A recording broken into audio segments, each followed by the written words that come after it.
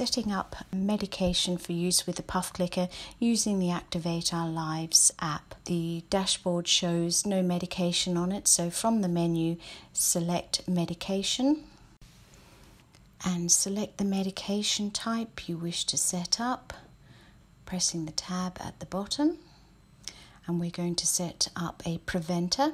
And next, you select the name of the medication. We're going to select Clenil Modulite. What is the strength of the medication? There are 200 doses in a 50 mcg. Press next. Add the first reminder.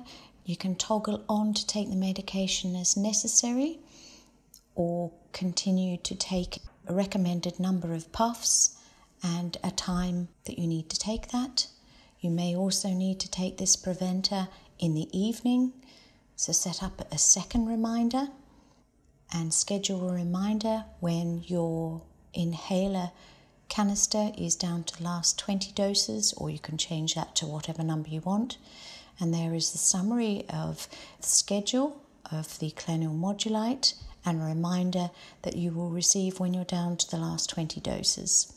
Now you need to add your first batch and you need to list how many doses are in that batch, where your batch is located in the bag in this case, and we suggest you take a photograph of the prescription label, which has all of your dosage information on that.